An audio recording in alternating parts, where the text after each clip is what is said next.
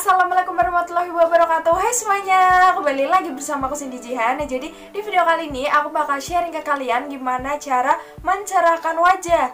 Nah sebelum ke videonya jangan lupa klik tombol like untuk aku Dan subscribe youtube channel aku agar youtube channel aku semakin berkembang. Dan jangan lupa juga untuk follow instagram aku Cindy Jihan underscore. So kita langsung aja ke videonya Nah, jadi di sini aku bakal langsung aja ngasih tahu untuk bahan-bahannya. Jadi untuk bahan yang pertama yang kita butuhin adalah kopi bubuk hitam yang dia tuh nggak ada gulanya.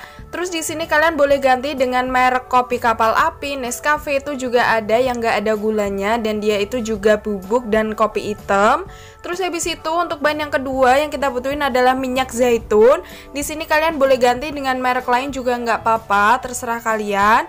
Terus habis itu di sini aku bakal langsung aja kasih unjuk ke kalian untuk cara bikinnya. Jadi pertama kita ambil kopinya dulu. Nah untuk kopinya sendiri aku masukin satu sendok makan. Terus habis itu kita masukin minyak zaitunnya. Nah, untuk minyak zaitunnya secukupnya aja ya. Kira-kira aku masukin satu setengah sendok makan.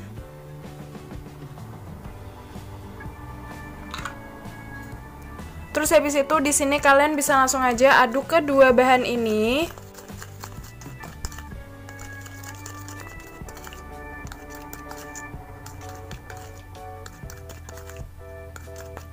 Nah, jadi sampai berbentuk pasta kayak gini ya.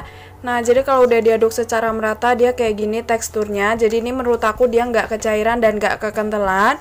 Terus habis itu di sini aku bakal langsung aja kasih unjuk ke kalian untuk cara penggunaannya. Jadi tonton terus ya videonya.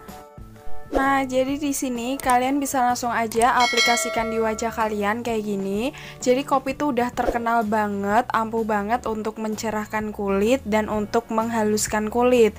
Terus untuk minyak zaitun juga udah terkenal banget, ampuh banget untuk mencerahkan kulit dan melembabkan kulit. Jadi kalau dipadu padankan ini tuh bagus banget. Nah, kayak gini. Jadi untuk penggunaannya sendiri kalian bisa gunain rutin setiap hari untuk hasil yang maksimal. Tapi kalau kalian sibuk kalian bisa gunain seminggu tiga kali atau dua kali itu juga udah bagus banget. Nah kayak gini ya jadi gampang banget untuk cara penggunaannya dan cara bikinnya.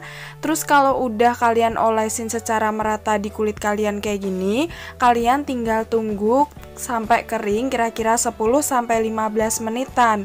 Dan di sini aku bakal balik lagi setelah dia udah aku bilas ya. Jadi tonton terus ya videonya Nah, jadi di sini dia udah aku bilas. Nah, hasilnya sendiri dia tuh kayak gini. Nah, jadi bener-bener di sini tuh dia lebih cerah untuk satu kali pemakaian. Terus ini dia juga lembab banget dan wajahku lebih halus lagi. Nah, kayak gini kelihatan banget kan untuk hasilnya. Jadi dia lebih cerah gitu. Nah, terus pas kalian bilas kalian itu scrub dulu jadi biar sel-sel kulit matinya itu juga rontok jadi biar halus gitu di wajah nah kayak gini hasilnya aku seneng banget sama hasilnya terus untuk penggunaannya sendiri tuh kalian bisa gunain sebelum tidur atau uh, pas sela-sela gitu Nah, terus kalau kalian gunain sebelum tidur tuh kamu gunain tidur terus habis itu kalian bilas di pagi harinya. Nah, kayak gini ya. Nah seperti itu aja videonya. Jika kalian suka dengan video ini Jangan lupa like, comment, subscribe, dan share di media sosial yang lain punya. Wassalamualaikum